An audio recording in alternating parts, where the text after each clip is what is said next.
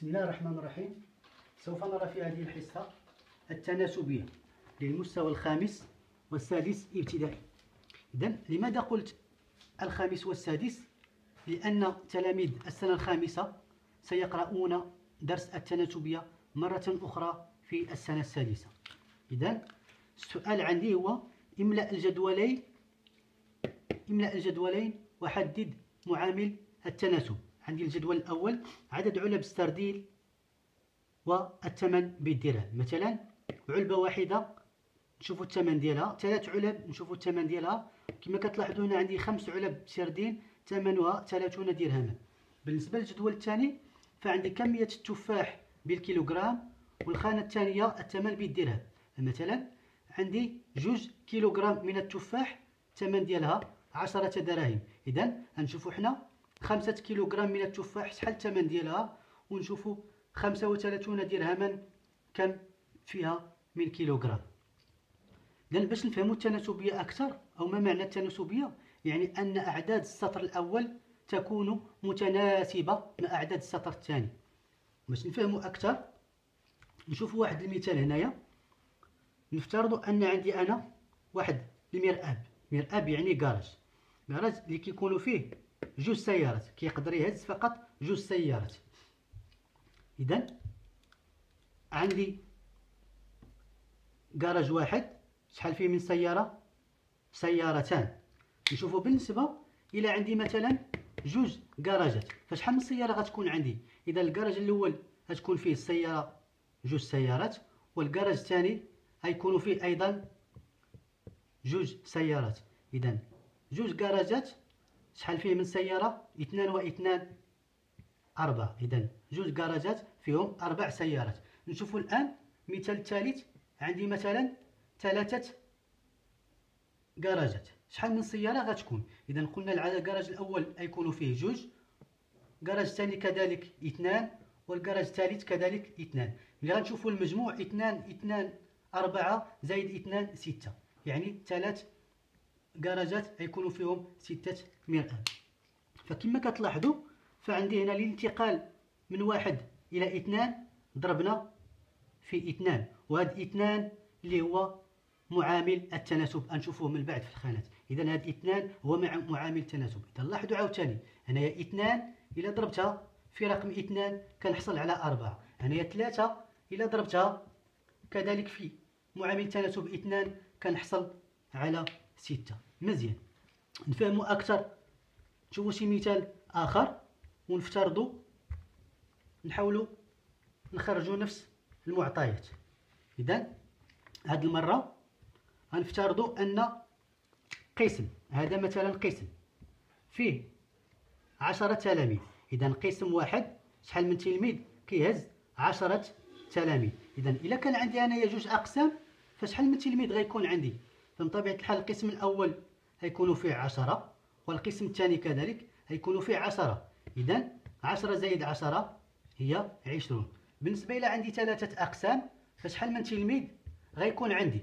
في القسم الأول دائما عشرة تلاميذ القسم الثاني عشرة تلاميذ والقسم الثالث عشرة تلاميذ. إلا عملنا المجموع عشرة زائد عشرة عشرون زائد عشرة ثلاثون. إذا هنايا أنا بالنسبة عندنا معامل التناسب ما كيبقاش إثنان. في هذا المثال فمعامل التناسب اللي هو كنعملو عشرة مقسومة على واحد. هي عشرة.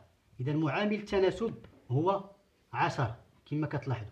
إذا اثنان إلا ضربتها في عشرة كنحصل على عشرون. ثلاثة إلا ضربتها كذلك في عشرة كنحصل على ثلاثون. مزيان.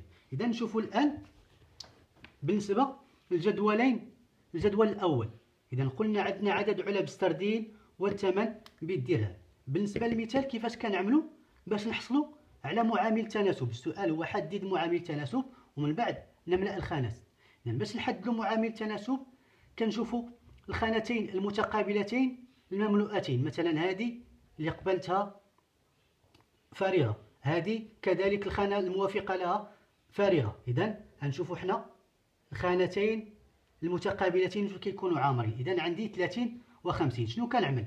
كنشوف أكبر عدد هو 30 كنقسمو على 5 30 مقسومة على 5 كنحصل على 6 إذا فمعامل التناسب هو 6 إذا للانطلاق من الخانة الأولى إلى الخانة الثانية أش نضرب في عدد ستة والعكس. والانطلاق من الخانة السفلى إلى الخانة الأعلى نقسم على ستة. إذا معامل التناسب عندي هو ستة. إذا لنملأ الآن الفراغات. إذا واحد في ستة أحصل على ستة. إذا علبة سردين واحدة ثمنها ستة دراهم.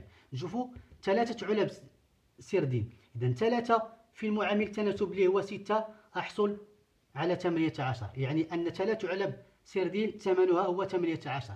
بالنسبة نشوفوا لهذه الخانة عندي العكس. إذا إلا بغيت تلقى هذه الخانة كنمشي بالعكس. شنو كنعمل؟ أقسم على ستة. إذا الانطلاق من هنا أضرب في ستة والعكس أقسم على ستة. إذا ثمانية وربعون مقسومة على ستة هو ثمانية. وبالنسبة لهذه الخانة إذا أضرب في معامل التناسب هو ستة. عشرة في ستة هي ستون درهما يعني أن ثمن عدد علب سردين سردين عشرة علب ثمنها هو ستون درهما مزيان. نشوفوا المثال الثاني أو الجدول الثاني اللي عندي فيه كمية التفاح بالكيلوغرام والثمن بالدرهم. إذا أول حاجة خصنا نوجدوا معامل تناسب. إذا قلنا لإيجاد معامل تناسب كنشوفوا الخانات الخانتين الموافقتين اللي كيكونوا مملوءتين. فينا هما عندي في المثال هما هاد الخانة. هاد الخانة اللي عندي الفوق عامرة والتحت حمراء. إذا لإيجاد عمل معامل تناسب كنشوفوا دائما العدد الأكبر عشرة وكنقسموها على العدد الأصغر. إذا عشرة مقسومة على اثنان هو خمسة. وبالتالي فمعامل التناسب هو خمسة. إذا في هذا الاتجاه نضرب في خمسة وفي العكس قلنا ماذا؟ نقسم عفوا نقسم على خمسة. إذا هنا نضرب في خمسة وفي العكس نقسم على خمسة. إلا بغينا نوجدوا هاد الخانة هادي شنو كنعملو؟ قلنا عشرين كنقسموها على خمسة. عشرين مقسومة على خمسة هي أربعة. والعكس إلا بغينا نوجدو هاد الخانة فكنعملو خمسة في خمسة. في معامل تناسب خمسة في خمسة خمسة وعشرون. العكس خمسة وثلاثون مقسومة على خمسة فهي سبعة. ثم خمسة وأربعون مقسومة على خمسة فهي تسعة. ولإيجاد هذه الخانة قلنا كنعملو العكس. أحد عشر في خمسة إحدى عشر في خمسة هي خمسة وخمسون. إذا هذا هو التناسبية يعني أن كما كتلاحظوا أعداد السطر الأول تكون متناسبة مع أعداد السطر الثاني. كاينة واحد الخاصية واحد العلاقة أخرى. مثلا نشوفوا مثلا هنايا عندي عدد علب ستردين واحد والثمن ديالها ستة. إذا إلا كانت عندي علبة واحدة الثمن ديالها ستة دراهم هذه تسمى العلاقة الثلاثية أو إذا تسمى قلنا العلاقة الثلاثية أو الرابع المتناسب. إذا لإيجاد هذا العدد إذا علبة واحدة ثمنها ستة دراهم فثلاثة علب هنا خرجت لنا 18 نشوفوها بطريقة أخرى. ثلاثة علب شنو كنعملو؟ كنعمل ستة في ثلاثة اللي هي 18 18 مقسومة على واحد إذا 18 نشوفوا مثلا شي خانة أخرى. مثلا هذه مثال آخر. إذا نتبع نفس المراحل. عندي جوج كيلوغرام من التفاح الثمن ديالو هو عشرة دراهم. عندي دابا العكس. عندي عشرون كيلوغرام. نشوفوا عف عفوا عشرون درهما. نشوفوا شحال كمية التفاح الموافقة له. إذا نتبع نفس المراحل. دائما اثنان كنعملوا اثنان في عشرون هي أربعون وكنقسموه على العدد الآخر. اثنان في عشرون أربعون أربعون مقسومة على عشرة هي أربعة. إذا لاحظتم نشوفوا مثال آخر. شوفوا مثال آخر مثلا